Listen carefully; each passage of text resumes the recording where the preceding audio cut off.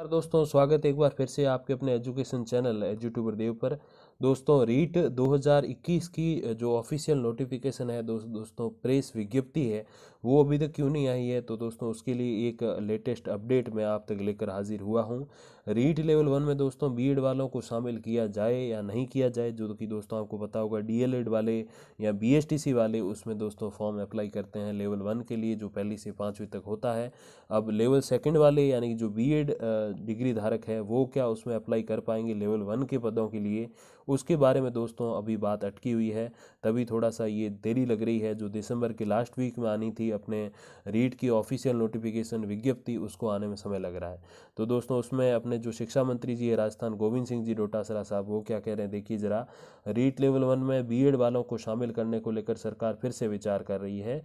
इसके लिए एक बार फिर एनसीटीई की गाइडलाइन की समीक्षा की जा रही है। National council for teacher education की दोस्तों गाइडलाइन की समीक्षा की जा रही है। इस कारण रीट की विज्ञप्ति जारी होने में जो है विलंब हो रहा है, देरी हो रही दोस्तों, हम भी सोच रहे थे काफ़ी समय से कि इन्होंने एग्ज़ाम डेट तो जो है घोषित कर दी है अप्रैल 2021 के लिए, लेकिन अब उन्होंने जो है अपने नोटिफिकेशन जारी नहीं किया है तो फिर वो तीन महीने में करा देंगे, वो सारी बात कैसे सेटल हो पाएगी?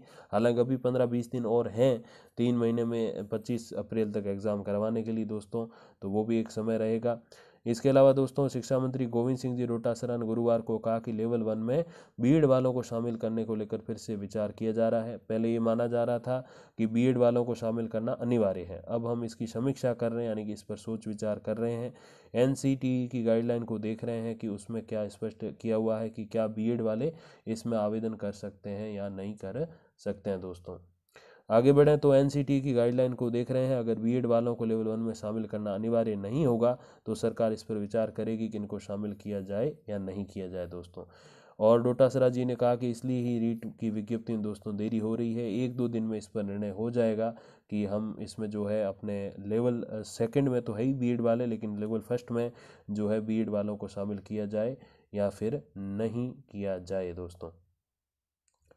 बाकी दोस्तों, जो भी रीट 2021 से संबंधित जो भी अपडेट आएगी, वो मैं आप तक लेकर हाजिर हो जाऊँगा।